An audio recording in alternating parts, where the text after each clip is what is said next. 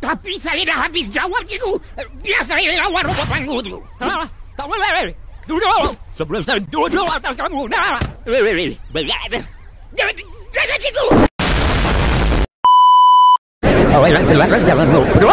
Keluar. Keluar.